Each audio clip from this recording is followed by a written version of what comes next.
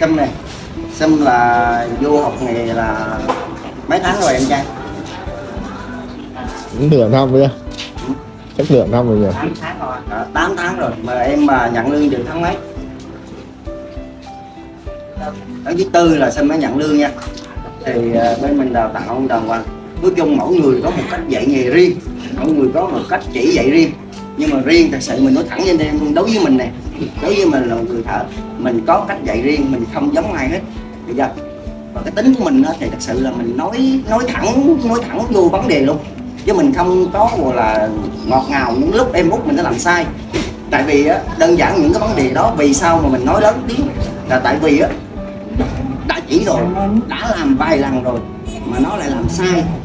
Thì ép buộc mình phải lớn tiếng lớn giọng. Để vì sao? Để cho nó nhớ những cái vấn đề đó để nó hoàn thiện bản thân nó. Chứ không phải là mình đi ở em ơi mình khen nó này nọ để gọi là mình, mình gọi là mình đem đến cái niềm không tốt nữa. Đó, nên là đối với em luôn là mỗi người có một cách dạy nghề riêng không ai giống ai hết nha. Thì để anh em để coi những một lưỡi như thế này.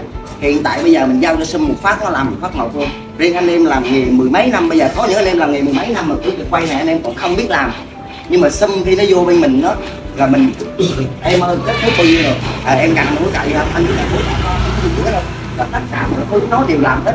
Thì anh em nghĩ đi nó đóng tiền nó học phí vô đó thì tôi nói anh em có đáng hay không? Nếu em anh hỏi em chưa có đáng không? Đáng đúng không? Đáng thì cho một like lần trước cái liền chứ sao đứng dậy được ok chưa?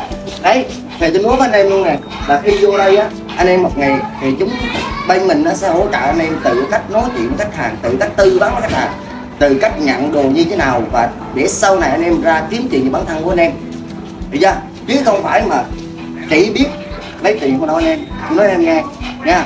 Nên là anh em đừng có đặt cái vấn đề nào đã quyết định đi vô đây học nghề thì chúng ta nên quyết tâm cái đạt một phát đi vô đây học nha.